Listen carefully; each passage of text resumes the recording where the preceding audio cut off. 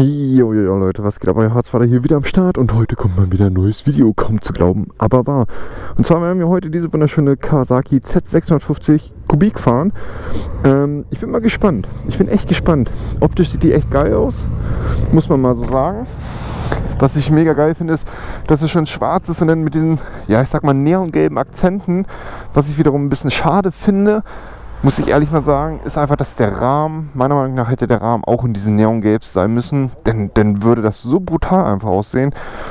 Was mir halt auch noch sehr, sehr gut gefällt, ist halt auch, dass hier wieder der ganze Motorblock alles wieder richtig schön in schwarz ist.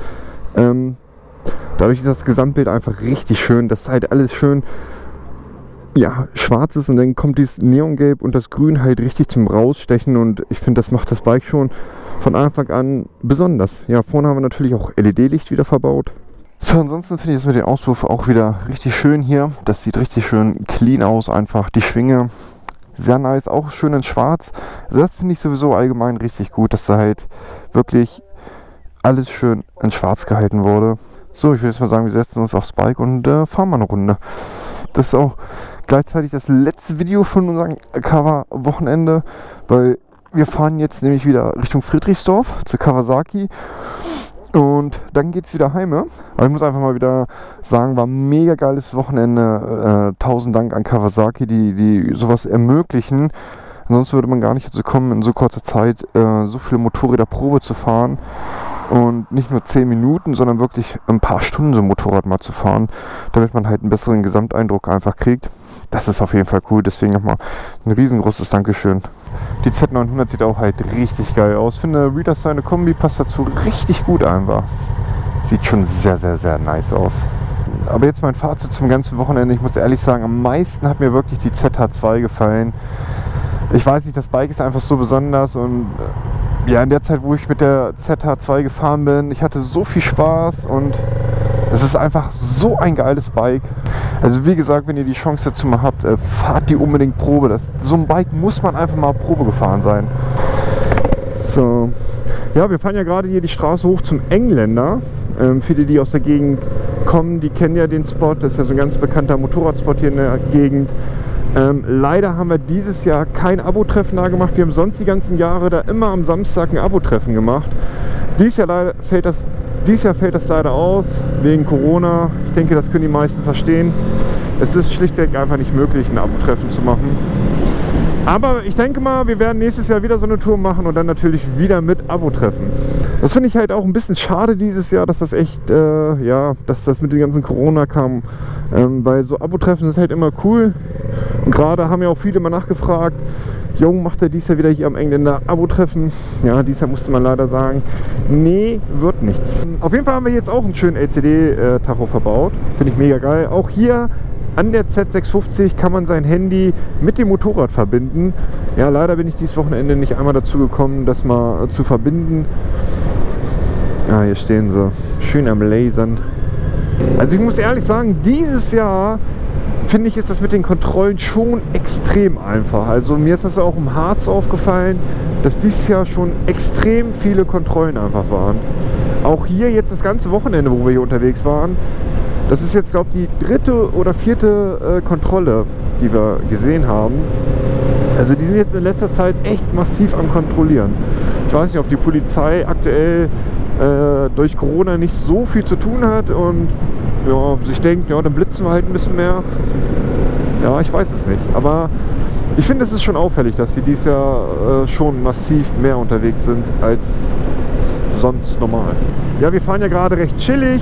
Ähm, und ich muss ehrlich sagen, jetzt so der erste Eindruck von der Z650, ich finde, die lässt sich echt gut fahren. Auch mit meiner Größe habe ich eigentlich, ja, Jetzt richtige Probleme habe ich damit jetzt nicht von der Sitzhöhe her, aber ich sage auch hier ist es grenzwertig, wie bei der Ninja äh, 650. Es ist echt grenzwertig hier, aber ich sitze noch recht bequem. Also beschweren kann ich mich jetzt nicht. Ich bin auch halt 1,92 groß. Ich bin jetzt halt kein kleiner Mensch.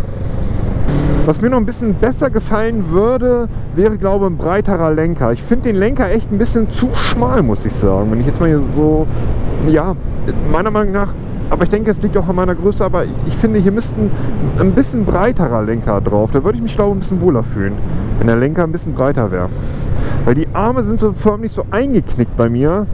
Ähm, dadurch ist meine Position halt ein bisschen, ja, ich sag mal, eingeschränkt. Also, ja. Aber das kann man ja, wenn man sich so ein Bike holt, kann man das ja im Nachhinein ohne Probleme ändern, einfach einen anderen Lenker drauf zu machen. Zumindest bei den meisten Bikes ist sowas kein Problem, sowas abzuändern und eintragen zu lassen. Daher sowieso glaube ich allgemein bei Naked Bikes viele den Lenker wechseln. Ich muss dieses Jahr auf jeden Fall hier nochmal in die Ecke her, weil ich finde die Landschaft einfach so schön hier unten mit den ganzen Burgen und Schlössern. Einfach, einfach genial. Ich liebe ja sowas. Ne? Und auch der Baustil hier unten, einfach genial. Aber nächstes Mal, wenn ich hier runterkomme, muss ich glaube mal meinen Metalldetektor mal mitnehmen und den mal hier ein bisschen, ja, mal ein bisschen durch die Wälder schwingen. Hier kann man bestimmt ein paar geile Sachen finden. Vielleicht gibt es ja irgendeinen, der hier aus der Nähe kommt und sondet ähm, kann mal berichten, wie hier so die Fundrate ist. Die Strecke hier hoch zum Engländer, das ist halt auch eine mega geile Strecke. Also allgemein streckentechnisch hier unten, hier gibt es so geile Strecken, hier macht es richtig Spaß zu fahren. Also für alle, die auch mal Motorradurlaub machen wollen, hier unten kann ich es euch echt nur empfehlen. Super Strecken, die Landschaft ist ultra schön. Ähm, und falls ihr dann noch ein Hotel sucht, äh, kann ich euch das äh, Hotel Schloss Weiberhöfe in Weiberhöfe, ich glaube in Weiberhöfe ist das, äh, empfehlen. Das Hotel ist echt ein schönes Hotel, gerade wer so auf so alte Gebäude steht. Ähm, aber alles top saniert, Wahnsinn einfach das Hotel. Also wenn ich dieses Jahr hier nochmal runterkomme, ich bin echt am überlegen, ich habe ja im Juni eigentlich Urlaub, weil ich da eigentlich zum Erzberg wollte. Erzberg wurde ja abgesagt. Und jetzt bin ich aktuell am überlegen, ob ich eventuell da die Tage mal wirklich hier zwei, drei Tage hier mal runterfahre mit der Eike und mal ein bisschen Urlaub hier mache.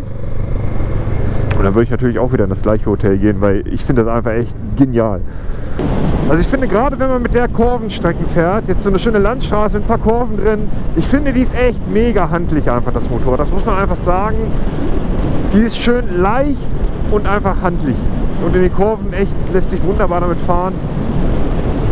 Wir können ja mal ein bisschen Abstand halten und dann können wir ja gleich mal wirklich mal den Durchzug von, ja, von 40 jetzt. Jetzt gehe ich mal Vollgas. Also die marschiert auch schon echt gut nach vorne, kann man sagen, was man will. Power ist da. Ich finde soundtechnisch im Stand hört sie sich nicht so gut an, finde ich. Aber wenn man damit fährt und dann halt wirklich den Hahn mal aufreißt, dann hört sie sich schon echt gut an, finde ich.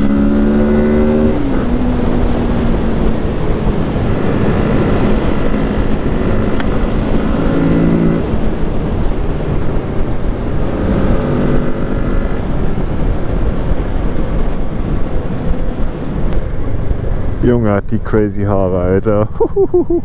Heftig.